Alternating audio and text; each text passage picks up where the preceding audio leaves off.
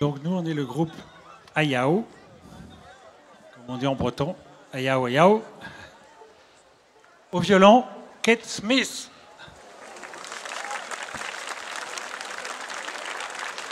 Et aux whistles, Marc Girons.